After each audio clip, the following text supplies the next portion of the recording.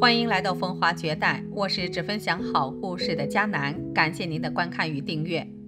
一九四八年，雷洪出生于台湾，因为家庭的影响，从小就对民歌很感兴趣，而且唱得还有模有样。一次偶然机会，他被影视公司发掘，自此跨上了演艺道路。从一开始不出名的作品，到为别人配戏，一直以来他都是绿叶的存在。可始终不气馁，也不灰心，细心钻研演技，终于在《娘家》中凭借彭大海这个角色获得了金钟奖最佳男主角奖，成为实实在在的视帝。近日，七十四岁的他在接受采访时透露，全盛时期他不仅在苗栗买下占地三千平的别墅，在新北永和一条街也有二十栋房子。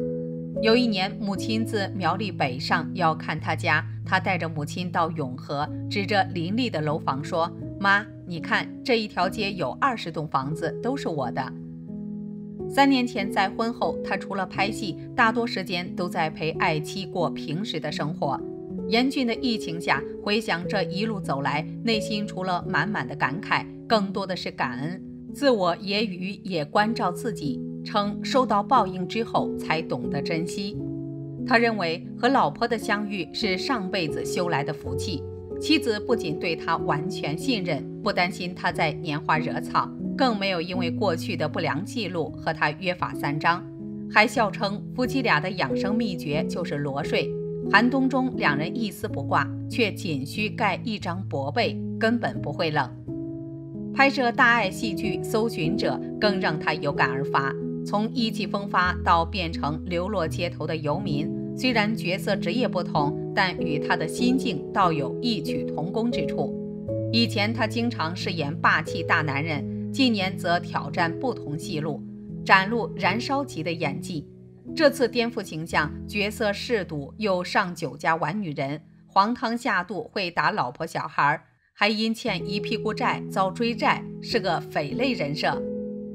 为了让角色更饱满，他到街头观察游民样貌，并主动蓄胡，让外形更接近不修边幅状态。从影以来第一次留这么长的胡子，导演王仲正看了也很满意。虽然是为了角色而扮的形象，但却让他有感而发，从而向媒体吐露自己的心声。接手这部戏也给了他不一样的思考。现在他不再用大男子主义去经营自己的爱情。也懂得惜福，毕竟已经到了需要别人照顾的年纪。以前年少无知，有钱就出去鬼混乱搞，从而做了错误的示范。现在要把过去的不对的行为告知天底下所有的男人，这是错误的。据了解，他原本拥有上千平的别墅，吸金能力也是十分强悍，一共有八个孩子，还有三个孙子，每个月的生活开支非常大。光是家庭开销就高达五十万台币，而且每每拿到酬劳就会被老婆们分光。他笑称，除了金钱压力很重外，老婆们争风吃醋也让他很头痛。曾透露，每年过年就是让他崩溃的大日，除了红包包不完外，要让众妻不吃醋才是大考验。每次回岳母家的时候，都是分身乏术。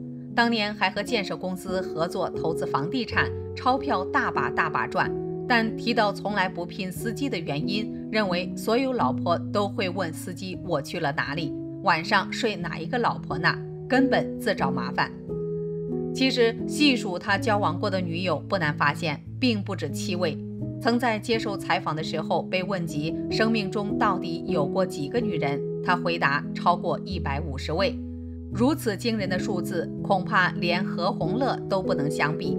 不过，外界最关心的不是交往过多少女友，而是他如何让六位前妻和谐相处的。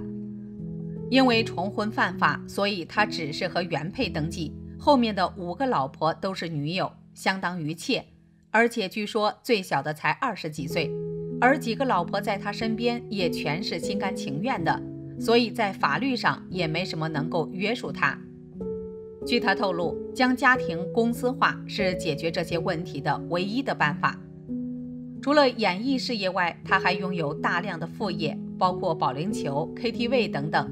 为了让每个妻子发挥能力，还特地将财务方面的事情交给学历高且十分精明的老四，其他妻子也安排相应的职位。虽说模式很好，但也避免不了出现问题。女友曾冒用他的名义向地下钱庄借钱，使得他负债六千万。一夕间风云变色，妻妾全部弃他而去，落魄到一无所有，无奈卖房卖车。最后靠着兄弟姐妹伸援手度过财务危机，再加上险些耳中风，使得他感慨万千，坦言过去的就过去，当做我欠他们，全部都没有了。不打人不骂人，好聚好散。小孩跟你们就跟你们，我现在是单独一个人。然而福祸相依，在妻妾全部跑光之后，二零一九年时因健康亮红灯住院的他，再度结缘小十岁的女友。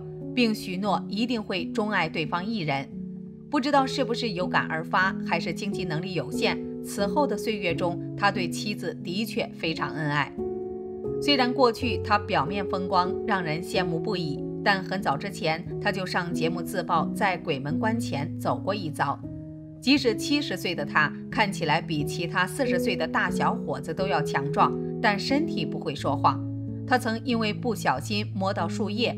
导致手掌指缝间长满水泡，最后甚至蔓延到全身，就连鼻孔里也长水泡，差点导致败血症。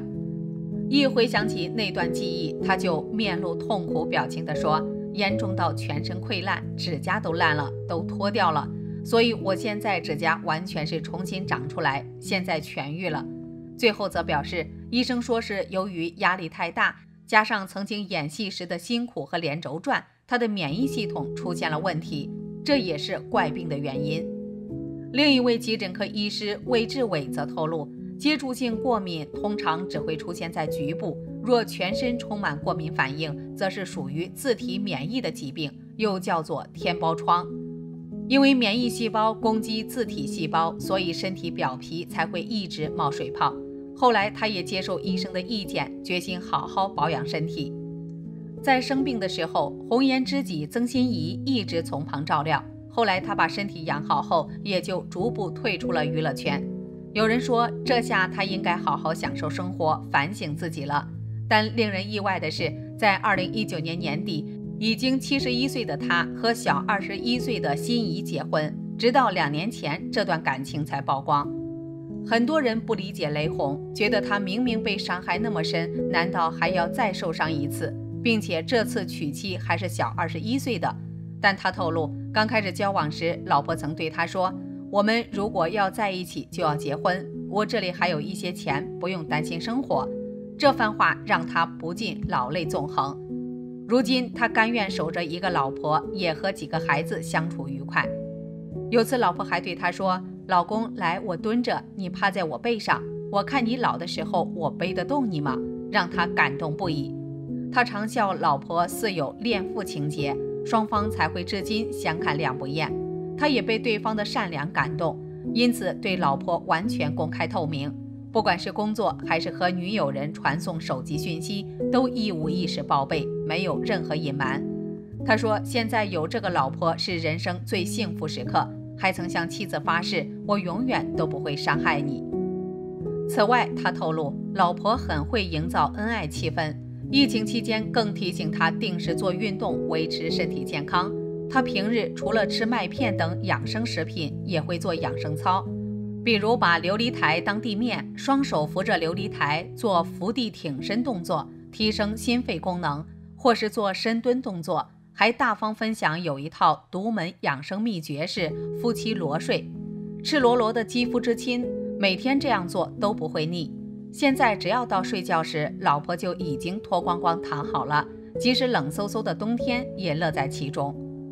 回归简单生活后，他总是被有人亏说是浪子回头，笑叹年纪离八字头不远了，活到这把岁数也没太多奢求。坦言我还有几个年头呢？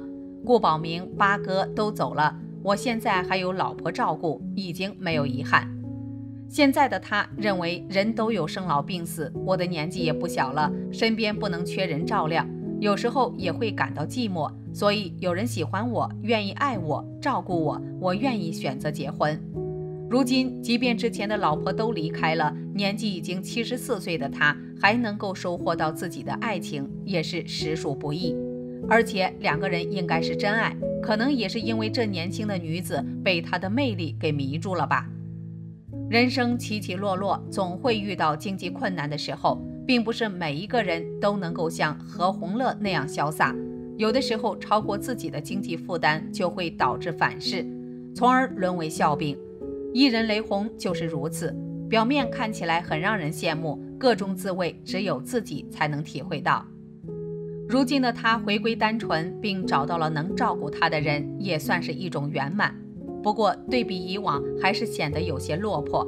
至于那些风流历史，早就是过去的事情了。既然已经选择要好好生活，想必他也是真的想开了。祝愿他们夫妻二人能够一直身体健康，生活幸福。今天的故事就讲到这里了。如果您对本期视频有何感想或建议，欢迎在下方留言。如果喜欢本频道，别忘了点击订阅。下期视频我们再会。